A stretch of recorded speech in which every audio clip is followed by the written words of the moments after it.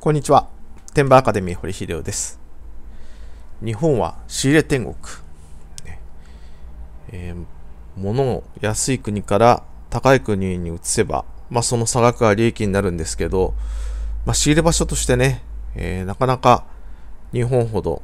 いいものを安く手に入るところは少ないです。まあね、えー、中国、えタイ、えベトナム、インドネシア、まあ、それらを含めてね、えー、いろいろ、まあ、何かいい商品ないかなと、ね、25カ国、ねえー、旅行して、まあ、探したりなんだりしてますけど、結局、現時点だと、まあ、日本ほど安く仕入れられるところはないと。まあ、せっかくね、それだけいいものが安く手に入る日本に住んでるんで、まあ、日本に住んでいるメリットを生かして、まあ、輸出ビジネスに取り組むと儲かると。ねえー、このゴールデンウィーク、輸出ビジネス、えー、スキルを身につけてはいかがでしょうか。まあ、日本は何しろね、都市部に出ると百貨店、ね、それから専門店、激安店、問屋、まあ、あらゆる店が揃ってます。そしてネットで注文すればね、えー、きちんと注文された、えー、商品が検品されて期日通りに届くと。まあ、実はこれ日本に住んでれば当たり前ですけど、まあ、世界だと類を見ない、えー、ことです。で、それだけいろいろね、えー、安く買える日本なんですけど、まあいいことばっかじゃなくてね、えー、なぜ安く買えるかと考えてみると、まあ、そのね、えー、メーカーなり、あるいは販売店なりで働いてる人の給料はね、え先進国最低レベルに低いと。ね、えまあ日本より逆に給料が安い先進国すでにないというぐらい低いです。えそんな形なんでね、えー、仕入れ天国なんですけど、まあ、日本でだけ稼いでね、えー、暮らしていこうとか、まあ、将来に蓄えようとか思うと、まあ、とんでもない、えー、ことにね、え老後、まあ、老後来ないうちに絶望しちゃうかもしれないですけど、とんでもないね、え未来が待ち構えてる可能性もあると。自分で、え稼げるスキルを身につけないとまずい国というのが、まあ、今の日本の現状です。で、日本に住んでるとね、日本って物価が安いっていうのはいまいち実感してない人が多いんですけど、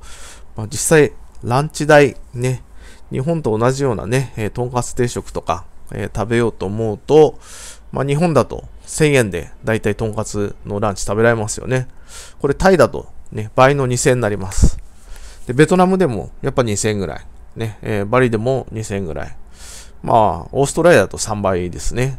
えー、だからね、えー、日本、まあ、少なくとも食事の値段で言ったら、まあ、日本は世界一安いと。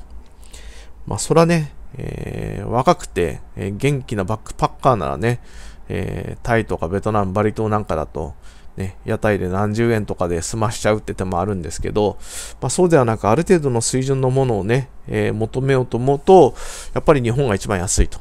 で、商品なんかも同じでね、ある程度の水準のものを売る、えあるいは仕入れるんであれば、え日本が一番安い、ね。えー、それを仕入れて輸出すれば儲かります。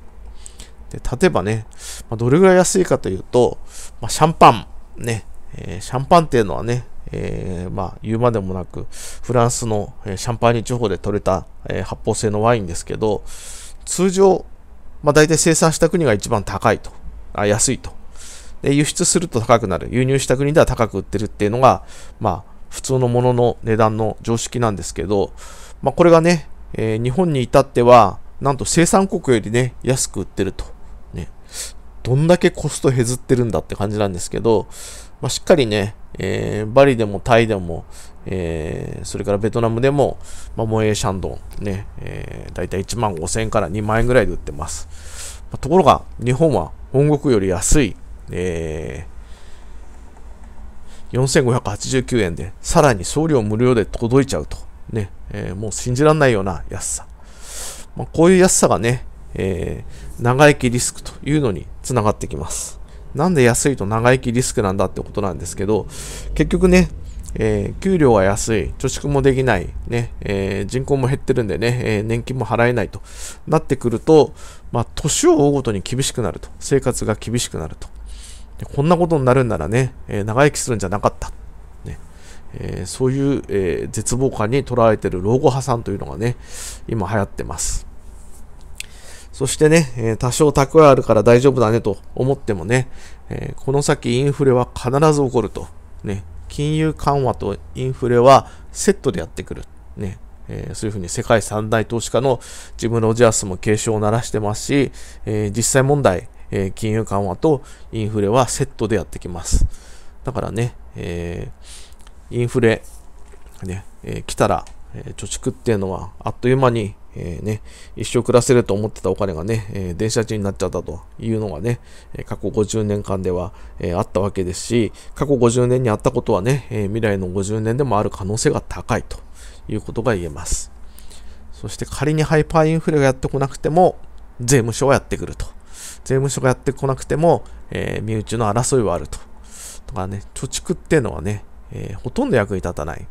やっぱりね、必要な時に必要なだけ稼げる能力を身につけるのが、えー、一番いいと。一番いいというより、それを身につけなければね、えー、年取って、まあ、無理が効かない年齢になって、稼ぐ力も、まあ、十分な蓄えもなければ、この世は地獄か地獄かもしれないと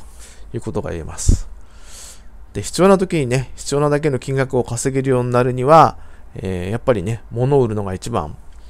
まあ、ロンドン、パリ、ポルトガル、ね、リスボン、クレタ島、プーケット、バリ島、レンボン関島、まあ、どこでも見かけた光景があります。それはね、このよくわかんないお土産とか雑貨をね、えー、売ってる露天商たち。ね、やっぱり他にやることなければね、一番手軽に始められるのはこの物を売ることと。で、しかも、日本に住んでれば、冒頭で言ったように、いい商品が安く手に入る。そしてこれをね、Amazon という仕組みで売れば、えーまあ、非常に稼ぎやすいと。で、Amazon で物を売るためにね、必要な3つのものというのは、Amazon が認めた国の政府発行の身分証明書、それと Amazon が認めた国の銀行口座、Amazon が認めた国のクレジットカードなんですけど、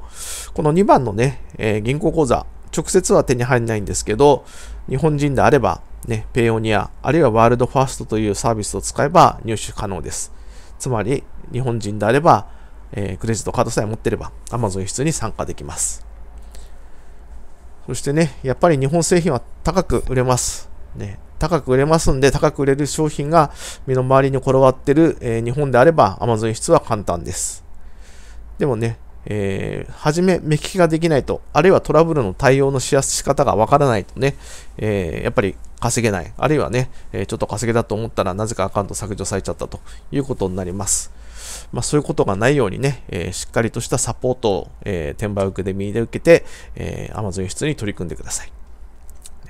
雪の怖さをなめる東京人ということでね、ちょっと季節がずれちゃいましたけど、まあね、雪国では常識なことも東京の人は知らないんでね、えー、ちょっとの雪で右往左往、ね、怪我人やら、えー、交通機関の乱れなんか出ます。でもね、これ雪国、普通に雪国で育った人にとってみれば、まあ何やってんのと、ね、えー、注意することは、えー、当たり前にあって、で、それをやらずにね、えー、それは雪の日にね、ヒール履いて出かけたら、あるいはね、スニーカーや川口で雪道を歩けば転ぶのは当たり前と、ねえ、そういうのは、え、分かってます。ですのでね、Amazon 室も今まで散々、えー、何百人も、えー、直接サポートしてますし、マニュアル販売とかね、あるいは質問に、えー、答えたとか、セミナー受講者で行けばもうすでに2000人超える人にサポートしてますんでね、もうおよそ、えつまずく箇所、ね、起こるトラブルは予想ついてますんで、えしっかりと取り組んでいただければ、えスムーズに Amazon 輸出で稼ぐことができます。で、転売アカデミーではね、初心者でも稼げるように Amazon 輸出サポートを提供しています。で、オーストラリアアマゾンで月30万円稼ぐ7ステップ。まず、ペオニア、またはワールドファーストアカウント開設。次に、オーストラリアアマゾンアカウントを開設する。そして、ダイソー商品を買う。で、FBA 納品をする。えー、で、アマゾンオーストラリアで売れた商品を補充して再販売する。で、アマゾン売れた商品の類似販売も FBA 納品すると。で、利益が月額30万円を達成するまで、この5、6を繰り返すというようなね、えー、もう本当単純な手順で、えー、進めていきます。で、この7ステップをね、次の通りサポートします。まず、チャットワークサポート、回数無制限でサポートしてます。そして、スカイプサポート、これ月2回、1回45分無料でサポートしてます。でメール、電話でもサポート可能です。オーストラリアアマゾンで稼ぐために役立つことは全てサポートします。でオーストラリアアマゾンのね、最初の投資えー、費用はいくらか。これ75万円です。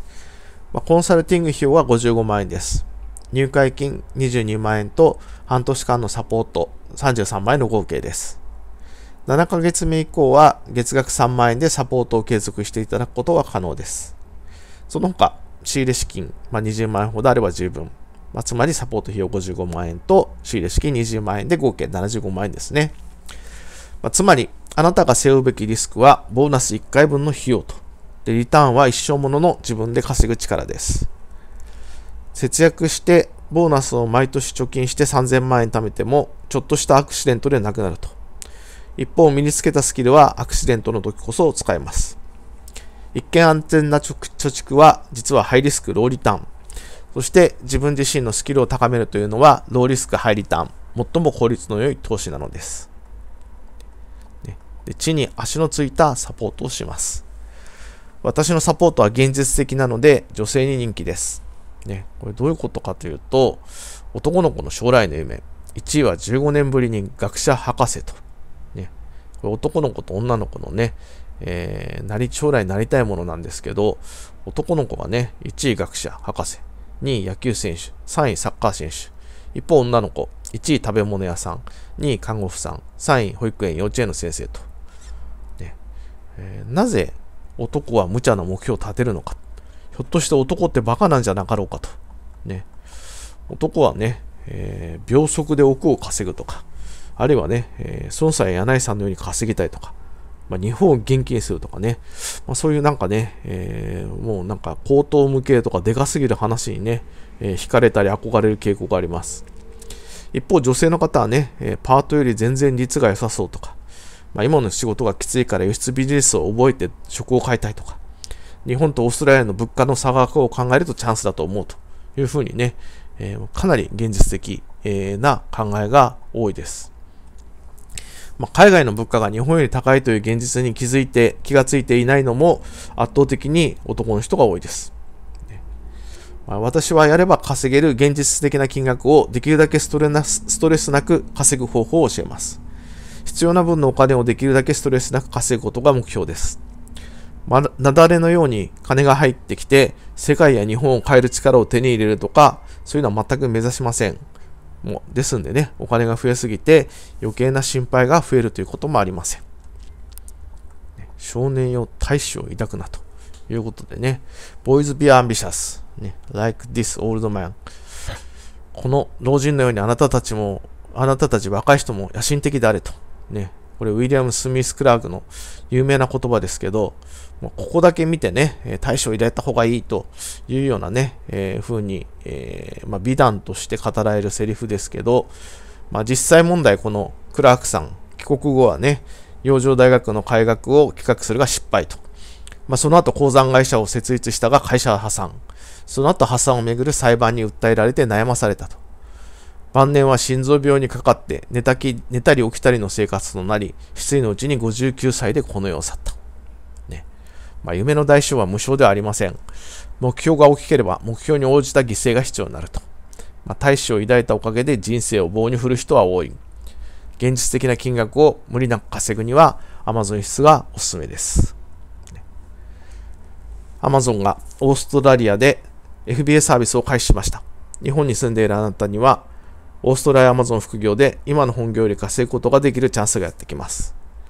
10倍以上で売れたね、えー、ダイソー商品の例なんかも記載記載してますんで、ここをクリックして、オーストラリアアマゾン輸出サポート申し込みページを見てください。以上、天馬アカデミー、堀秀夫でした。